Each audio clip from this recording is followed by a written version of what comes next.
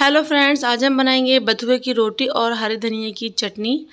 Hello welcome to my YouTube channel Uzma kitchens आज हम बथुए की रोटी और धनिए की चटनी बनाएँगे। और इसे बनाने के लिए मैंने यहाँ पे बथुआ लिया है एक किलो और इसको मैंने बहुत अच्छे से वॉश कर लिया है। इसको अच्छी तरीके से धो लें क्योंकि इसमें मट्टी बहुत ज़्यादा होती है। तो उसको सबसे ज़्यादा ध्यान रखना है कि इसमें बिल्कुल भी मट्टी नहीं रहना चाहिए, इसको अच्छे से वॉश करना है। तो इसको मैंने करीब तीन चार बार धोया है साफ़ करके बिल्कुल। धोने के बाद हम इसको बॉयल करेंगे तो मैंने यहाँ प्रेशर कुकर ले लिया है। इसमें जल्दी से बॉयल हो जाएगा। आप चाहें तो भगोने में इसको उबाल लें और मैं प्रेशर कुकर में कर रही हूँ तो मैं सिर्फ़ दो सीटी लगाऊँगी इसे बथुआ डालने के बाद। तो मैंने कुकर में बथुआ डाल दिया है और बथुआ डालने के बाद हम इसमें और बथुआ डालने के बाद इस, इसमें हम डाल देंगे वन टीस्पून नमक। तो हम इसमें वन टीस्पून नमक डाल रहे हैं और नमक डालने के बाद हम इसमें डाल देंगे एक कप पानी और पानी डालने के बाद हम इसका अब ढक्कन लगा देंगे और ढक्कन लगाने के बाद हम इसमें सिर्फ़ दो सीटी लगाएँगे। तो सिर्फ़ हम यहाँ पे दो सीटी लगा लेंगे। दो सीटी में बहुत अच्छे से उबल के तैयार हो जाएगा ये। तो देखिए हमने दो सीटियाँ लगाई हैं और बथुआ बहुत अच्छे से उबल गया है। अब इसको हम ठंडा कर लेंगे। ठंडा करने के बाद हम इसको ग्राइंडिंग जार में इसको पीस लेंगे।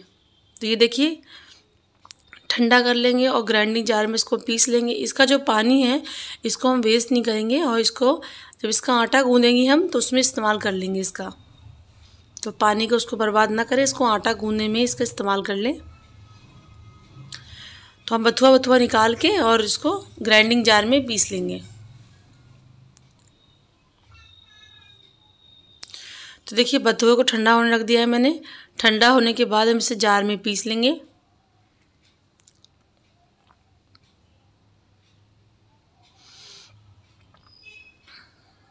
ठंडा हो गया है बथुआ तो मैं इसे जार में पीस रही हूँ।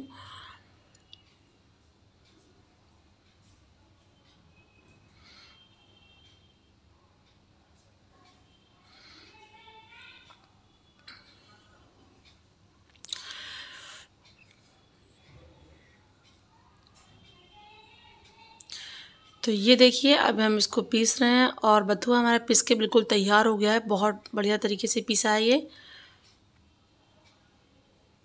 और हमने चार कप करीब आटा लिया है, उसमें हमने डाला है आधा चम्मच नमक, क्योंकि नमक हमने ऑलरेडी बथुए में डाला है पहले ही तो हम नमक इसमें कम डाल रहे हैं और बथुआ हम इसमें डाल देंगे और डालने के बाद हम इसमें आटा गूँधेंगे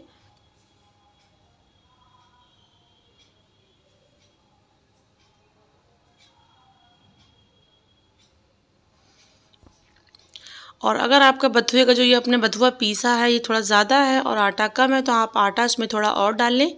तो देखिए, पानी का इस्तेमाल करते हुए हम इसको गूंद लेंगे। पानी हमने जो बथुए का थोड़ा सा बचा था वही हमने इसमें डाल के गूंद लिया है। तो पानी को हम बिल्कुल वेस्ट नहीं करेंगे, क्योंकि वो बहुत फ़ायदेमंद होता है बथुए का पानी। तो जो भी उसमें बचे, वो आप इसमें आटा गूंदने में इस्तेमाल कर लें। और आटा आपको कम लगता हो तो उसमें आटा थोड़ा सा और ऐड कर लें। तो देखिए, हमने इसका आटा लगा लिया है। इसका आटा हम ऐसा लगाएँगे जैसे नॉर्मल रोटी का आटा होता है, इस तरह से हम लगाएँगे। ज़्यादा पतला या ज़्यादा टाइट आटा इसका नहीं लगाएँगे।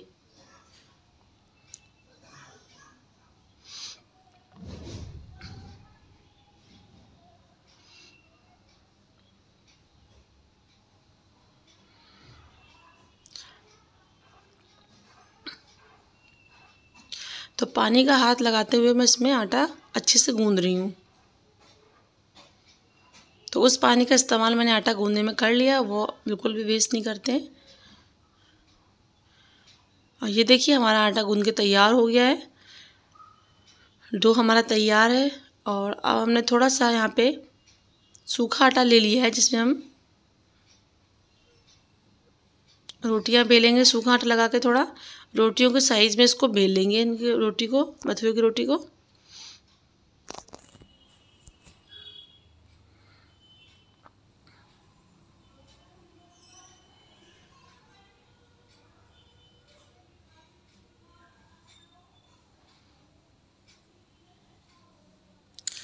सबसे पहले हम रोल्स तैयार कर लेंगे, पेड़े बना लेंगे हम रोटी बनाने के लिए। तो हम सारे इसके आटे के पेड़े बना लेंगे हम।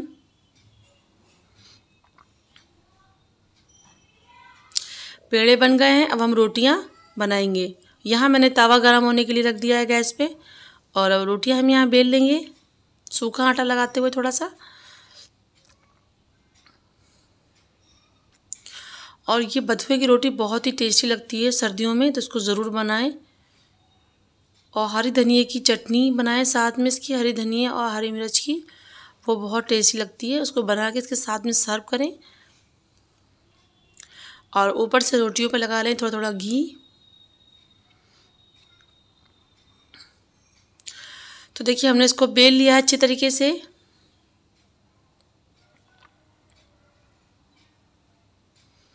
अब इसको हमने बेल लिया, अब इसको हम तवे पे डाल देंगे। तवा गरम हो गया अच्छे से।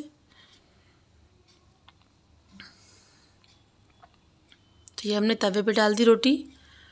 और रोटी को हमने दो सेकंड के बाद पलट दिया है।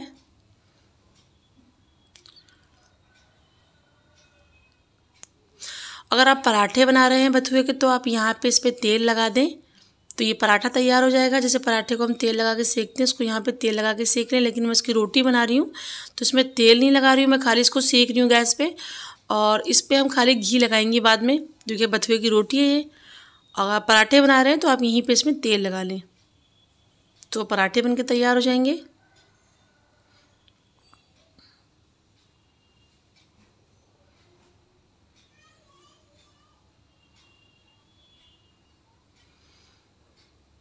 देखिए ये रोटी सीख गई है। इसी तरीके से हम दूसरी रोटी भी सेक लेंगे बथुए की। इसको भी मैंने तवे पे डाल दिया है और इसको भी अब हम पलट पलट के सेक लेंगे अच्छे से।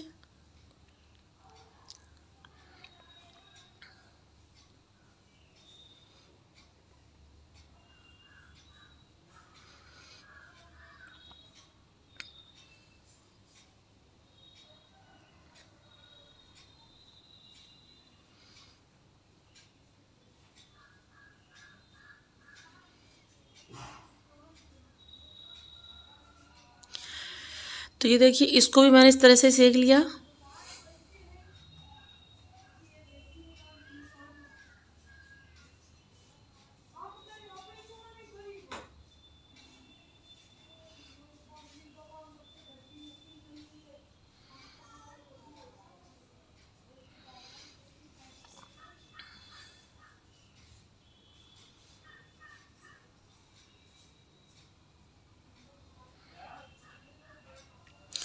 तो ये देखिए, रोटी भी हमारी सेक के तैयार हो गई है।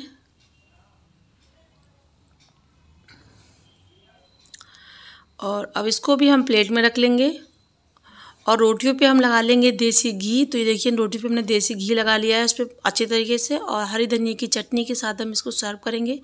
अगर आपको वीडियो पसंद आई हो, चैनल को लाइक करें शेयर करें सब्सक्राइब करें। Thank you